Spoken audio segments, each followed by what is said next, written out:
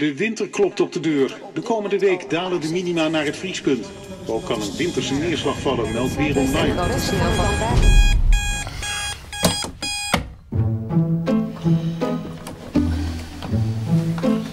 Extreme kou is een mentaal ding. Kop helder en lijf warm houden. Je nooit gewonnen geven.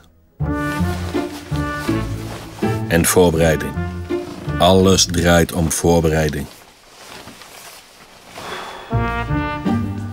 Morgen Annie. Hi Kees. In ons vak is de winter een topuitdaging.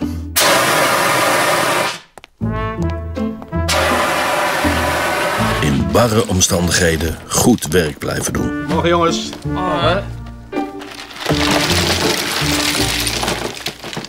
Je staat bloot aan de elementen.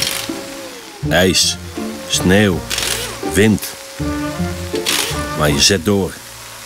Nederland moet bij pech op je kunnen rekenen.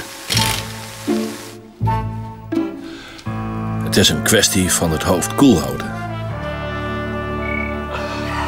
Bij je wijs van spreken, hè? Vorig jaar heb ik duizenden mensen geholpen. Lege accu's, dichtgevroren deuren. Ja, de kou is een verraderlijke tegenstander.